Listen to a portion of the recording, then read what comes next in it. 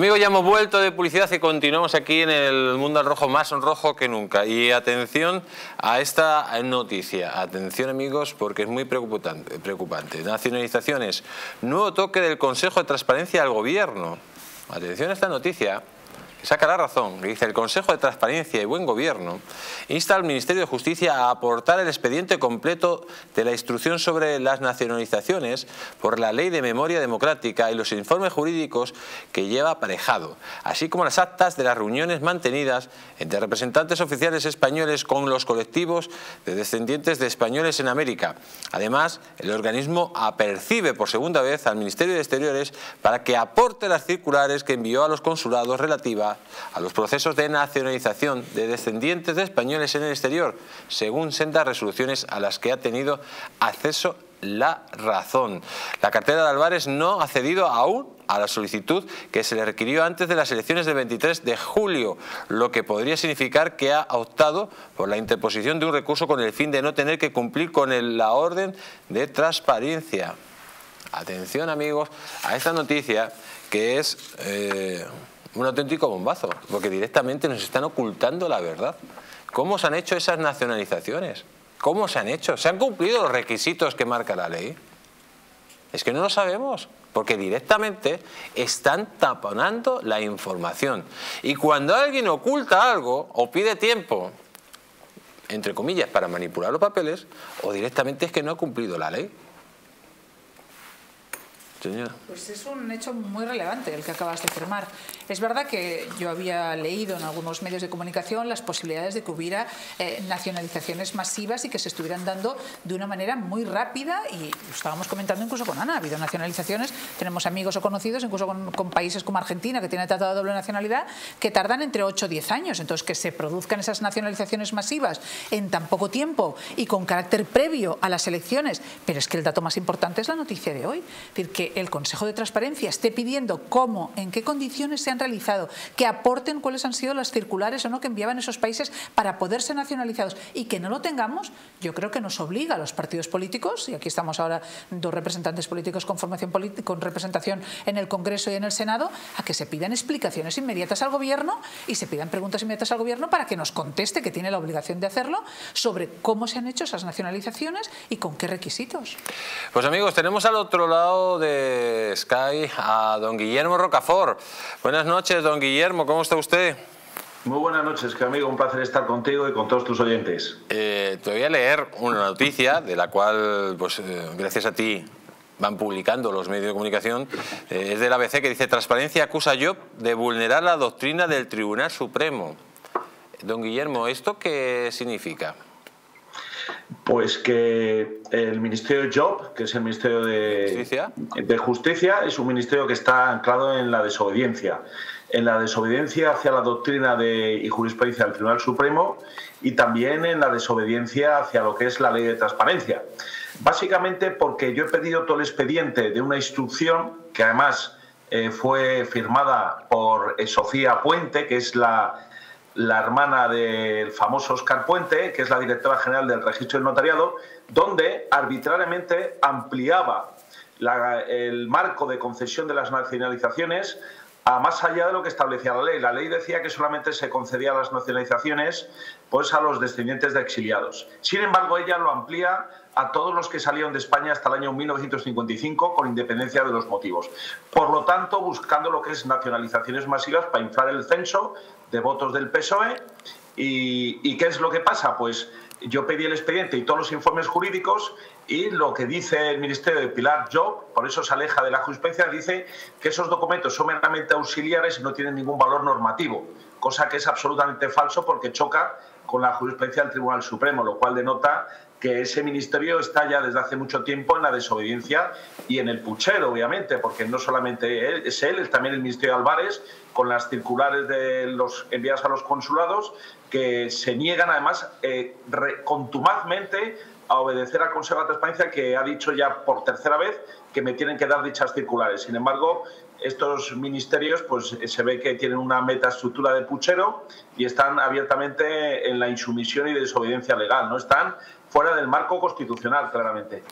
Claro, estamos viendo eh, que pues un ministerio como tal tiene que dar esa documentación, si no estaría haciendo prevaricación directamente. ¿Quién haría, quién sería el responsable directo de esa prevaricación?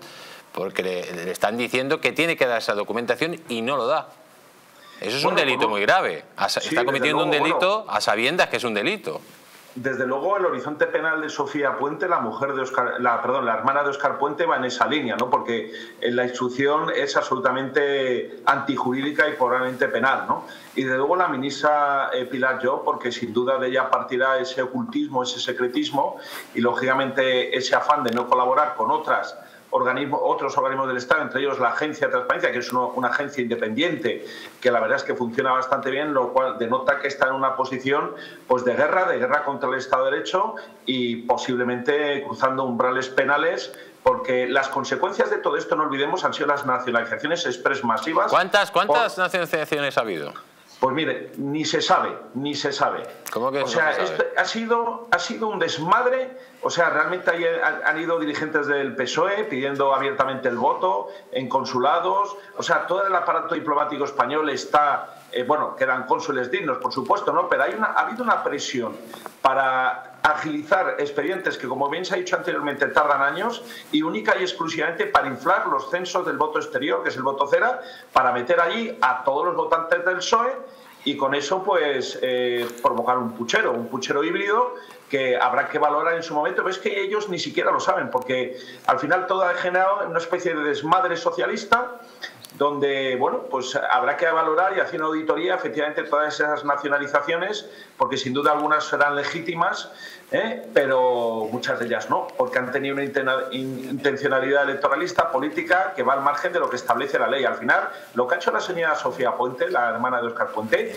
es eh, desbordar todos los marcos de la ley y hacer de su instrucción, digamos, eh, lo que le da absolutamente la gana, que es decir, ella ha fijado el año 1955 como límite temporal para aquellos que se fueron antes de esa fecha, sus descendientes puedan pedir la nación española, pero podía haber fijado el, 1985, porque ya sabemos que la familia Puente está totalmente desmadrada. Y eso, desde luego, mucho más que el grave de lo que ha pasado en el AVE este fin de semana con Oscar Puente, lo de la hermanita, que la ha liado verdaderamente parda, incluso en general los abogados expertos en extranjería están que trinan porque ha creado un verdadero marco de inseguridad jurídica y no olvidemos por qué, para que su partido sea beneficiado, sin lugar a dudas. Vamos, qui prodes, está más claro que el agua. Eh, tenemos aquí, eh, don Guillermo, tenemos aquí, está Ana Ruiz, que le quiere hacer una pregunta, lógicamente con su, su permiso, si no le importa. Por supuesto.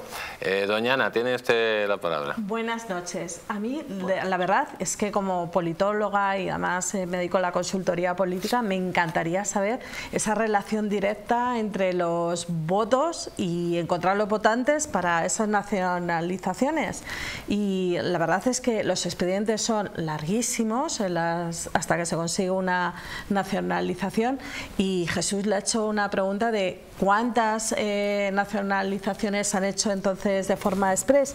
Eh, no nos ha dado una cantidad ni, ni, sabemos, entonces suena un poco especulativo, no, no, no, parece, o por lo menos yo lo he entendido así, y es que de verdad eh, a mí me encantaría poder, vamos, me encantaría contar. ¿La pregunta cuál es? Pues cómo llega a esa conclusión de unir votante y nacionalización, porque estoy segura que todos los partidos políticos eh, y, en tiempo récord. Eh, ya se pues, sabe que pues es vota al Partido Socialista. Creo que no. Que responda, que responda la, mayoría del votante, en, eh, por ejemplo, de las nacionalizaciones en España es voto latino. El voto latino, que sí, tenemos aquí a Alicia, que nos diga que votan en Madrid. ¿Qué votan en Madrid principalmente? Votan al Partido Popular. Entonces, esta relación para ser un poco riguroso... Le, voy a pasar la pregunta, pero lógicamente la voy a interpretar. Todas esas nacionalizaciones son de exiliados o de personas que salieron de la época de Franco eh, durante un tiempo determinado, ¿no? O sea, que se supone que tienen familiarmente una tendencia política. Efectivamente, en la Ley de Memoria Democrática se establecían las nacionalizaciones por descendencia, igual que pasó con la ley de Zapatero, de, memoria histórica. Entonces, ¿qué indicios hay aquí en este sentido? Pues hay muchísimos. Yo no sé, esta señora que me ha preguntado si sí o no la línea de información que ha dado la ABC, que tiene varias portadas al respecto. Yo le recomendaría que, se, que le diera al respecto, en vez de hacer conjeturas y, y desvirtuaciones de una investigación periodística que llevamos meses con este asunto. ¿Qué quiere decir esto? El PSOE está organizando actos electoralistas en Caracas en distintos países hispanoamericanos movilizando pues, a personas. ¿eh? Han ido allí pues, la secretaria de Estado. Y por ejemplo, en Venezuela y en Cuba ha sido los países donde más nacionalizaciones han hecho, ¿no? Bueno, en Cuba, en Cuba digamos, eh, las sacas de los votos por correo las, las, las ha estado llevando una funcionaria del Partido Comunista de Cuba al Consulado Español. Es decir, hay un absoluto descontrol. Entonces, eh, eso es una evidencia más, efectivamente, de ese. Y además es que el peso es que no se corta un pelo a la hora de, haber solicitado el voto para estos colectivos. las, eh, las, circulares de Álvarez, del Ministerio de Asuntos Exteriores, han sido desveladas en mayor o menor medida por distintos medios como The Objective y en ella se, pide, se dice claramente que piden la agilización de los procedimientos a los efectos de los procesos electorales. Es decir, si el censo del voto cero, efectivamente que hay gente en Madrid que vota pues, al PP o, simplemente no vota, ¿no? O sea, eso me refiero a los, a los nuevos electores, ¿eh? y es de hacer de una ley eminentemente ideológica o sectaria, como es la ley de memoria democrática, una fuente de votos. Y en eso el PSOE pues, ha sido experto. Pero es que ha ido mucho más allá, porque la, la directora general del Registro de Notariado, Sofía Puente, ha ampliado mucho más ese espectro. ¿Por qué? Porque, como bien se dice en la noticia, yo recomiendo que se lea la del ABC, hubo una reunión entre funcionarios del Estado y colectivos, digamos, del exilio, del exilio de la guerra civil. Y las presiones que han recibido para precisamente llegar a ese resultado, que es una especie de puerta grande para todos y todo el mundo entra y realmente eh, se ha dado incluso preferencia a nacionalizaciones por memoria democrática que otro tipo de gestiones que hacen los consulados como renovaciones del DNI y del pasaporte. O sea, es una eh, afrenta tal. Lo que pasa es que por lo general los partidos políticos, en concreto la derecha cobarde española, y pues no se meten a estas cuestiones porque como piensan que van a heredar algún votito de eso, ¿sabes? Cosa que deberían sobre todo ceñirse a la ley, que es lo que estamos haciendo unos cuantos patriotas, de seguir precisamente estos protocolos y conseguir que el Consejo de Transparencia, que es lo más importante, nos dé la razón. ¿eh? Y cuando realmente se ocultan esas actas y esas, esas instrucciones, esas actas, esos expedientes y esas circulares, es que algo grave está, muy está pasando. Probablemente las circulares de Álvarez hayan recurrido la resolución del Consejo de Transparencia a la justicia, lo cual ya en sí sería un escándalo, porque al final lo que denota es que este gobierno único quiere es ganar tiempo para que no sepan los españoles lo poco que cotiza la nacionalidad española. Cotiza un voto al PSOE y eso es algo que lo sabemos todos los que estamos trabajando y estudiando en esta cuestión. Y por eso pido un poco de rigor a la hora de hacer la pregunta, nutrirse algo realmente de la información que se ha publicado al respecto. Don Guillermo, está Arancha Cabello, le quiere hacer una pregunta. Bueno, yo más que una pregunta, eh, lo que quiero hacer es confirmar que yo soy funcionaria de carrera, eh, Alicia también lo es y seguramente ella también me entienda. ¿no? Eh, resulta que lo que ha hecho, ha hecho el equipo de investigación, y lo ha hecho muy bien, es ir al Consejo de Transparencia, no, ir utilizando la ley de transparencia y pedir un expediente que debería estar de manera pública pues visible para todos los ciudadanos, porque ahí puedes saber realmente qué ha pasado con esa ley y si la interpretación que se está dando a través de una instrucción que no tiene la misma categoría de ley es correcta y se ajusta a derecho o no. Al ocultarlo, lo que hacen es que esas resoluciones no se pueden atacar.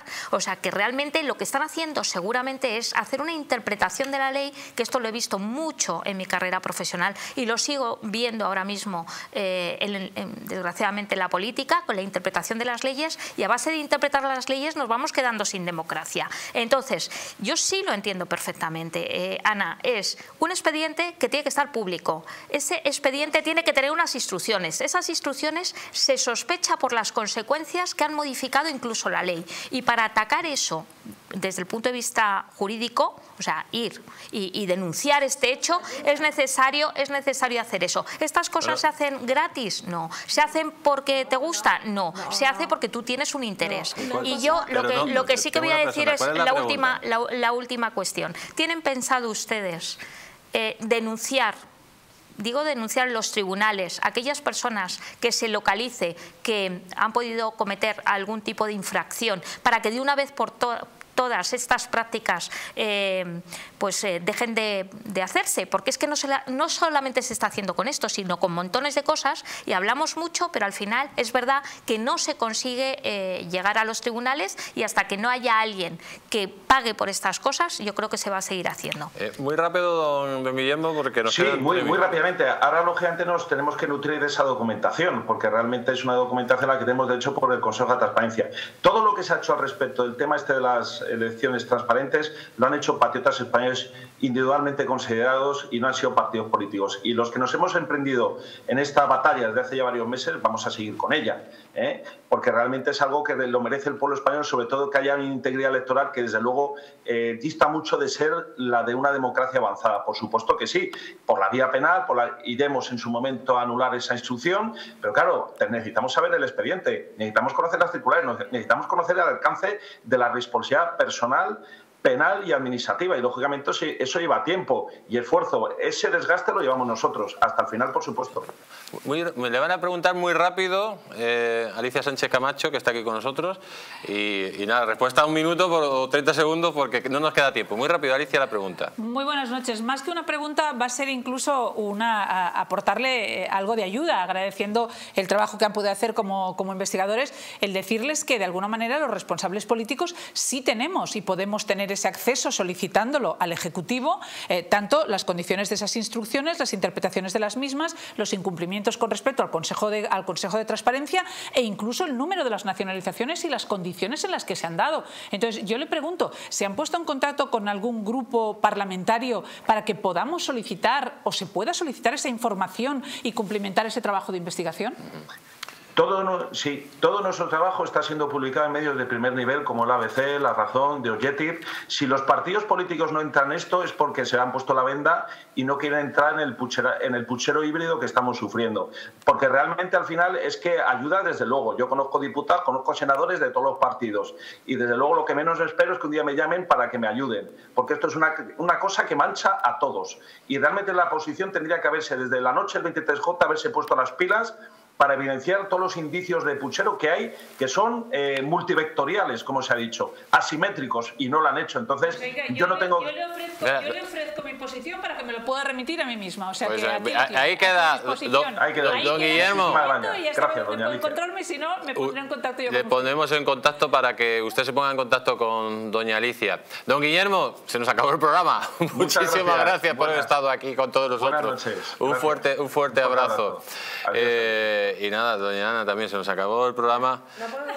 Eh, es que no tenemos tiempo. solo puede decir sí o no. o sea, no creo que dé tiempo.